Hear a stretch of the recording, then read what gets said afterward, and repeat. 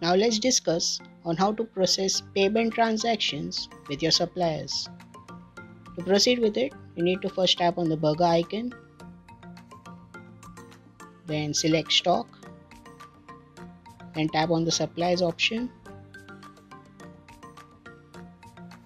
To process the payments, you need to tap on payment pending tab. Select the supplier for which you want to process the payment select the payments tab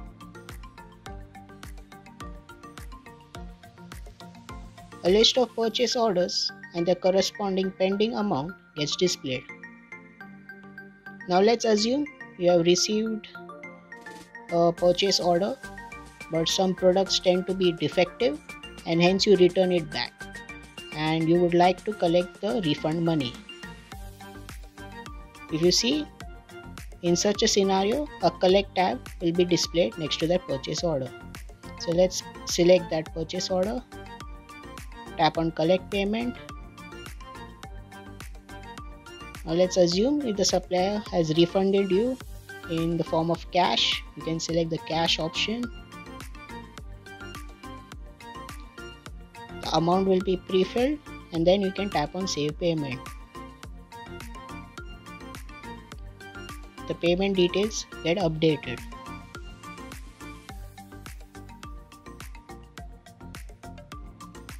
Now let's assume you have received the goods and the goods tend to be in good condition. Hence there's no question of any refunding. Now you need to pay for those goods as well. In such a scenario, you can see the pending tag next to that purchase order so select that purchase order and tap on make payment. Select any mode of payment.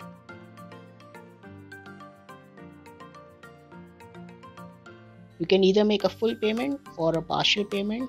For example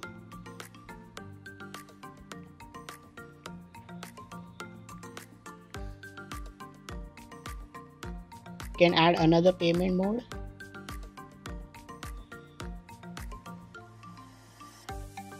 the remainder amount gets pre-filled. We'll see that the amount pending tends to be 0. Finally, tap on Save Payment. The payment details get updated. Hence, in this way, you can process payment of various purchase orders with your suppliers with ease. Thanks for watching. We hope that this video was helpful to you. If you have any questions, you can comment below or contact our customer support team. For more videos, subscribe to our channel and click on the bell icon for further updates.